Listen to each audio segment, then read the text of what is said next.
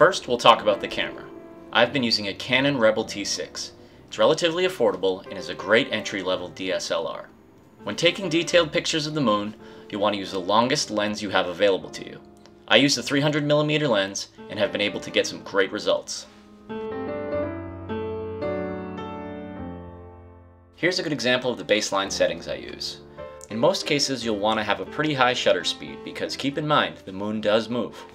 I usually use a tripod so I don't have to find the moon in the sky every time I change settings, but you might find it's not necessary.